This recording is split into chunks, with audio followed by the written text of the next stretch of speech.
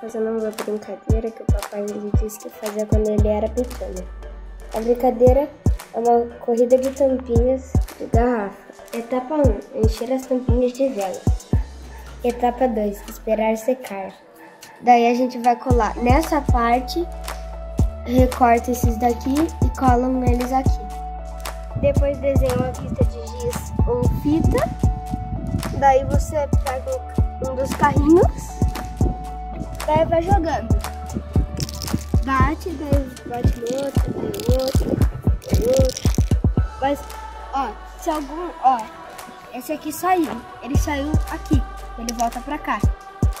Se o carrinho capotar, é, você volta pra onde ele tava e você bateu. Se ele bater em um outro carrinho, a mesma coisa, volta para onde ele estava. E se saiu, volta, ele saiu assim, volta bem aqui na beiradinha. Cada um tem um peteleco. E a vez é de cada posição. Oi, eu vou ensinar você a fazer um paper squish na sua casa. Primeiro, você vai precisar de uma folha, cola, tesoura, só se você quiser contornar e também pintar, lápis de cor e lápis grafite. E é isso, mas eu usei fita dupla face para conseguir colar um pouco melhor as bordas. Esse daqui é o exemplo de um que eu fiz. Vocês podem ver que eu desenhei e também pintei. Atrás eu coloquei um pouquinho de fita durex para firmar um pouco melhor as bordas. Dentro eu coloquei sacola plástica ou essa aqui também você pode colocar. Normalmente eu uso as de mercado e essa. E você pode fazer o paper squish de vários tamanhos e várias formas. E é super legal fazer, eu me divirto muito, eu adoro ficar brincando e apertando ele. Como vocês podem ver, ele é bem molinho e você coloca a quantidade de sacola que você conseguir colocar no tamanho do seu paper squish. E eu amo fazer isso e é super legal. Espero que você também goste.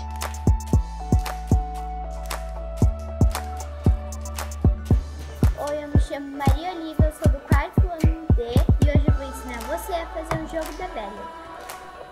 Os materiais que você vai precisar é de um pote de sorvete com a tampa, escrito jogo, da velho. Você daí irá pegar fitas e fazendo com a fita em formato de hashtag. Assim, deixando assim em formato de hashtag. Daí você irá pegar a tampa, o pote, né, o resto do pote, e você pode servir para bordar as tampinhas. As tampinhas têm ser 5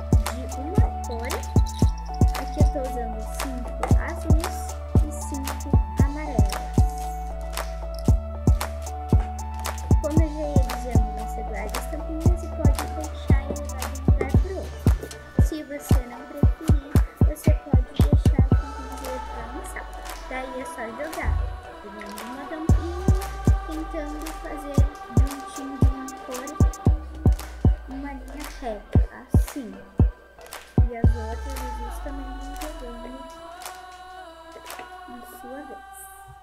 Espero que tenham gostado. Um abraço, até a próxima. Tudo bem? Eu vou estar ensinando a vocês como tá fazendo come come. E você vai precisar de papel, tesoura e por fim canetinha, lápis, lápis de cor, giz de cera, tanto faz, mas você vai precisar se você quiser. Eu já vou explicar. Modo de preparo. Você vai pegar o seu papel que você está aí e dobrar assim. Depois disso, você vai cortar por aqui, aqui embaixo. Agora, eu tô terminando de cortar aqui. Peça ajuda de um, de um adulto se você for pequeno. Aí depois que você abriu aquilo, você vai estar tá pegando essa pontinha e colocando aqui. Depois que você fez isso, você vai pegar essa ponta e colocar no meio. E vai estar tá fazendo isso com as outras pontas também. Depois que você fez isso, você vai vir aqui do outro lado e vai fazer me a mesma coisa. Depois que você fez isso, você vai estar, tá, ó, dobrando assim, ó, no meio, com essa parte aqui, ó, assim. Entendeu? Faz isso. Aí você fez isso, você vai fazer assim de novo, só que do outro lado vai fazendo pra deixar ele bem modinho. Depois que você fez isso, você vai, ó, pegar aqui o seu dedo e vai estar tá colocando aqui. Depois que você colocou, você vai fazer assim e vai virar junto com o A canetinha você pode estar fazendo umas escritas e perguntando para a pessoa. Então você pode estar usando várias coisas. Se você não acompanhou, assista o vídeo de, o vídeo de novo. Obrigada. Tchau. Então, galera, hoje eu vou ensinar vocês a como fazer um descascador de piano. Então, que gente, eu vou usar aqui um pedaço de madeira que andaram fazendo um piso aqui em casa e sobrou e eles deixaram aqui. Eu vou usar isso.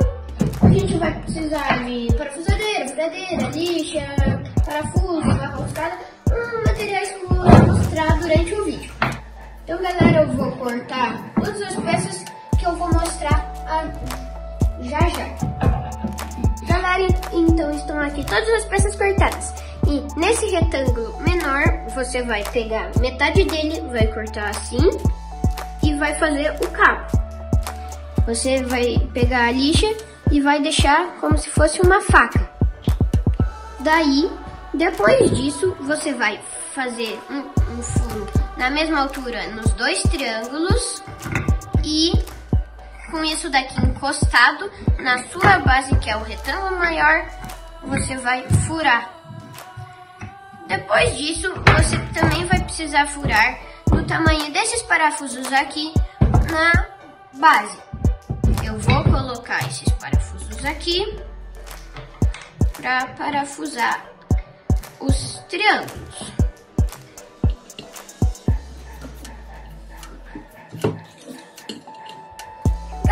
Então eu vou parafusar tudo aqui e daí eu volto. Então eu parafusei aqui e chegou a hora da gente colocar a faca. Então eu vou colocar ela aqui, colocar a barra roscada e as porquinhas.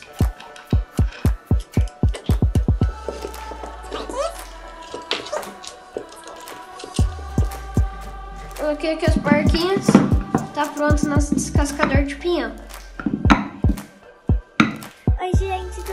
vocês, aqui é a Manuela Lourenço e hoje eu vou ensinar vocês a fazerem um porta-cor. Vamos precisar desse estojinho de café da hora, caixa de ovo,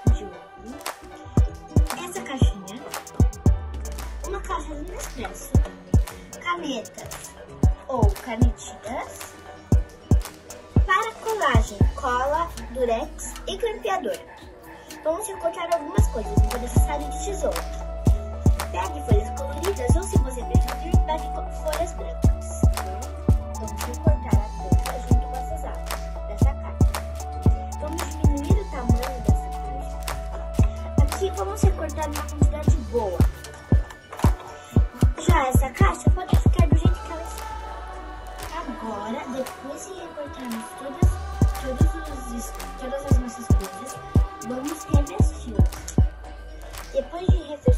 Todas essas peças,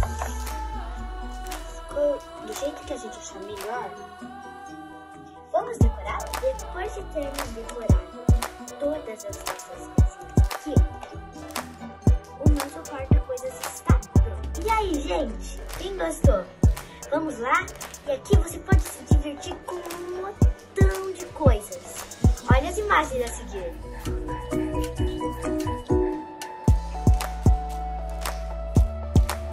Pessoal, já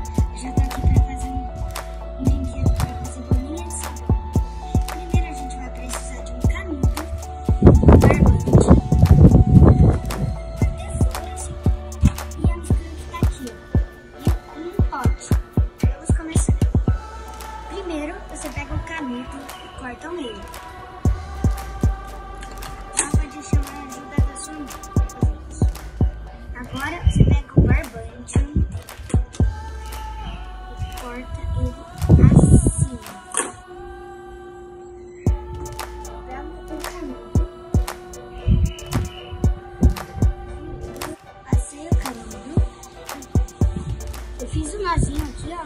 Deixa eu ver. Olha, eu pus, ó. Aquele nó dentro dos cabelos pra não ficar aquele nó ali. Aí você faz a mistura com água e detergente.